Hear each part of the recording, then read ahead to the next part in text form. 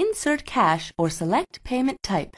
Use PinPad to complete transaction. Okay, a couple of things. First, I really love this meme. I think this is hilarious. This is amazing. But I want to use this excuse to talk about the history behind this a little bit. So this creator has used a portrait of a man named Johann Tetzel, who was famous for selling indulgences in Germany, which is what set off Martin Luther to write his 95 Theses, specifically calling out Tetzel, and they got into this big feud and started the Protestant Reformation. Long story short.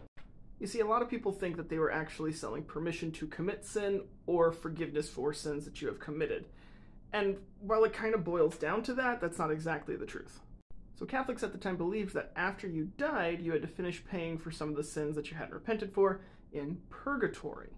And buying an indulgence was a way of getting you or a family member out of purgatory faster, or in some cases, immediately. So the goal of these indulgences was less about forgiving sins you just committed and more about getting you out of purgatory.